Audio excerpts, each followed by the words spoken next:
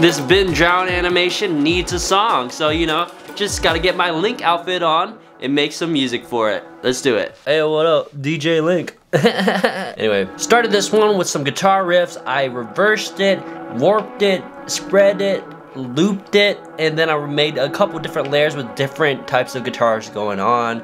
And then I put some effects on there, CLA, uh, airwaves, some reverb, some FabFilter. Then I froze that and stemmed it out, and that's what you're looking at right here. That's why it doesn't look like there's any effects on it, but there is. It's just I didn't apply it on there. I'm using sforzando, one of my favorite free plugins, yo! Using the sound font from Majora's Mask to create these string sounds and choir sounds. And I'm also kind of riffing on the Song of Healing track, you know, keeping it the same keys, some interesting notes. Gotta have jungle drums, got them from Splice.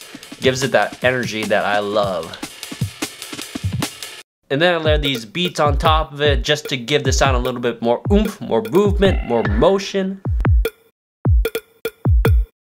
Of course, you gotta have a little sound effects, so I add a little whiplash sound effect swoosh, which you can get in my sample pack if you wanna check that out. It's available online. There's a free version and there's a pay for version. The one you pay for comes with a lot more, and also our Discord and Patreon where I'll be giving out some free samples as well if you wanna see more of these video game sound effects.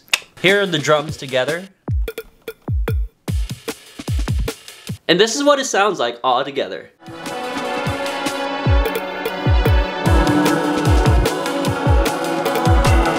If you like the 3D animation, I made that too. The soundtrack is available for samples on my Gumroad, so please check out my website, Patreon if you want to be in the credits, and also join our Discord community where we're giving out free sample packs and doing community giveaways. So thank you guys for stopping by. TDragon signing out. Stop hate, make love.